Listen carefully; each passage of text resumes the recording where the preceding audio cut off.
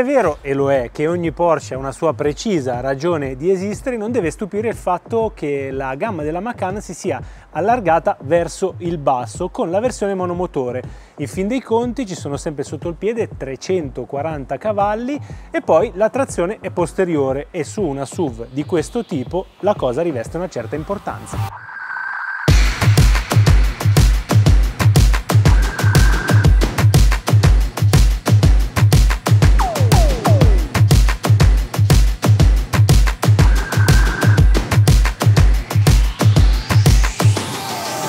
Allora, abitabilità posteriore eh, della Macan, beh devo dire che il sedile è come regolato per come guido io che sono alto 1,80 qui ho tanto spazio, ho spazio anche in altezza anche se il tetto panoramico mi porta via eh, un pochettino di centimetri e poi cosa dirvi ancora, la larghezza non la posso valutare, devo aspettare le misure del centro prove, però posso già dirvi che il tunnel centrale è basso e non dovrebbe dar tanto fastidio ai piedi di un eventuale terzo passeggero e poi qui ci sono le bocchette e mi posso anche gestire il clima. Diamo uno sguardo anche al bagagliaio della Macan, apertura servo assistita, abbiamo 546 litri dichiarati, poi quando la macchina arriverà a Vairano saremo più precisi, per il momento vi posso dire che soglia sia abbastanza alta ma molto curata, eh, occhiello incassato e poi una moquette abbastanza eh, di qualità, anzi devo dire di qualità e tutta una serie di accessori per organizzare e trattenere il carico, per esempio retine qui,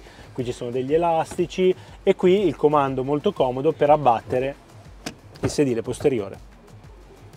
La plancia della Macan è molto Porsche, molto simile a quella degli altri modelli, Qui a differenza per esempio della Panamera abbiamo le bocchette che si regolano manualmente e questo secondo noi eh, è un plus, ma la scena è dominata da, dai tre schermi, qui c'è anche l'opzionale, quello davanti al passeggero anteriore, strumentazione con i tre strumenti virtuali, comunque con lo schermo che entra perfettamente nel volante e comunque un'ergonomia curata perché no, eh, non si sono dimenticati i progettisti di mettere tasti fisici sia sul volante sia questo che è quello per cambiare le modalità di guida e poi il clima che si può controllare facilmente da questa plancetta. E poi anche tanti portaoggetti quindi li abbiamo per esempio qui dove sono due portabicchieri qui ce n'è uno molto grande e poi dietro questo sportello la piattaforma di ricarica wireless.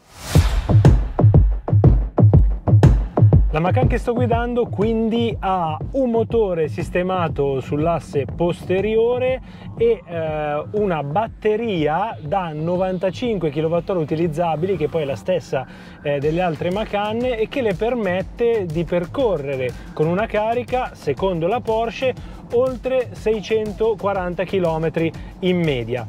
Sotto la pelle della Macan c'è eh, la piattaforma PPE che ha l'architettura a 800 volt ed è la stessa sostanzialmente che si ritrova per esempio sotto le forme dell'Audi Q6 Già che ci siamo vi dico qualcosa eh, rispetto alla ricarica, in corrente alternata l'onboard charger è da 11 kW, quindi non un risultato stratosferico se vogliamo perché ci sono auto elettriche che permettono di avere anche in opzione eh, il caricatore interno da 22 che abbrevia di molto i tempi alle colonnine in corrente alternata mentre invece l'architettura 800 volt torna molto utile quando ci si abbevera alle colonnine HPC quindi qui la Macan anche la base può arrivare fino a 270 kW tutto questo naturalmente se il processo di ricarica si completa nel modo giusto le modalità di guida sono quattro, si parte dalla normal, poi si può scegliere anche l'off-road per percorsi in fuoristrada leggero, niente di più, e dopodiché si passa alla sport e perfino alla sport plus. E in questo caso appunto le sospensioni eh, con molle pneumatiche si settano per far muovere il meno possibile la vettura. Devo dire che la risposta delle sospensioni in normal è ovattata, piuttosto morbida, e non ci sono assolutamente scossoni o sobbalzi anche dove l'asfalto è un po' più rovinato. Il capitolo comfort vede anche un'insonorizzazione che devo dire mi sembra curata, non avverto frusci strani o un rumore eccessivo di rotolamento dei pneumatici quindi mi aspetto che eh, anche gli strumenti del centro prove certifichino questa mia sensazione quando la macchina varcherà i cancelli di Vairani. In ogni caso mi sembra una macchina comoda eh, da utilizzare nel quotidiano. Ma quello che voglio davvero capire è se la Macan base è in grado di rivaleggiare con eh, le sorelle molto più potenti come ad esempio la 4S o la Turbo e beh, dalle prime impressioni la risposta devo dire che sì, perché i 340 cavalli del motore montato al posteriore comunque se la cavano molto bene anche nei saliscendi, certo non vi strapperanno gli occhi dalle orbite in accelerazione, però dicono la loro nel quotidiano e non soltanto. Eh, e poi c'è un telaio che è veramente riuscito, nel senso che la piattaforma PPE anche in questo caso, su questa Macan base che sto guidando senza retrotreno eh, sterzante ma con le, con le molle pneumatiche, beh, devo dire che si inserisce con una precisione e una rapidità notevole in curva per essere una SUV elettrica da circa 2200 kg e dissimula veramente bene eh, il suo peso. Tutto è amalgamato molto bene dallo sterzo che è il classico Porsche, rende sempre bene eh, l'idea di cosa stanno facendo le ruote anteriori, appunto al controllo del rollio e del beccheggio e devo dire che a sensazione la mancanza del motore anteriore fra le curve, fra un misto stretto come quello in cui sto guidando adesso può essere quasi considerato un vantaggio dove serve magari più telaio eh, che motore e ci si possono anche togliere delle belle soddisfazioni. Non posso ancora essere ovviamente preciso dal punto di vista dell'autonomia e dei consumi, però vi posso dire che in circa eh, due ore di guida e 140 km più o meno segnati sul computer di bordo, il consumo medio segnato eh, appunto al computer di bordo è di circa 4,5 km con un kWh, con uno stile di guida che ovviamente non è paragonabile eh, a quello diciamo di tutti i giorni perché eh, ho esagerato un po' con i piedi dell'acceleratore. Detto questo ho circa un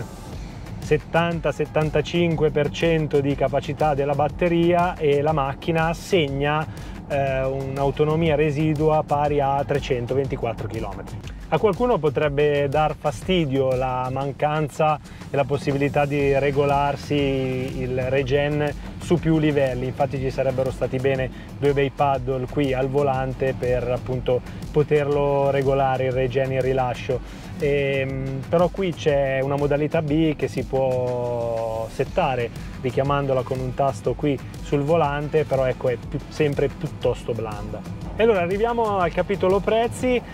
La Macan base parte da 84.626 euro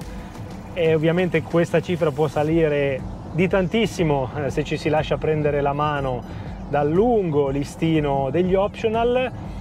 però secondo me potrebbe essere una proposta molto valida per chi si accontenta e soprattutto perché ha una potenza adeguata, 340 cavalli, è vero non avete la trazione integrale ma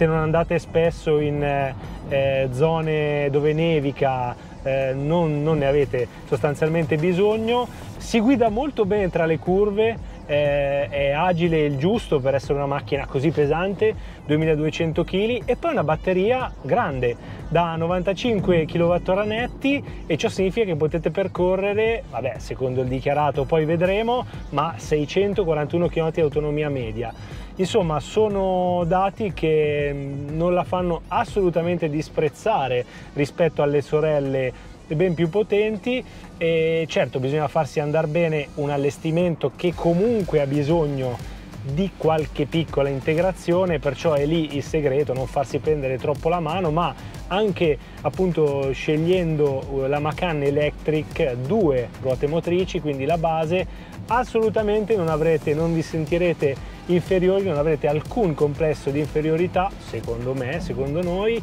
verso le Macan più potenti e cavallate. E voi cosa ne pensate? Fatemelo sapere qui sotto nei commenti.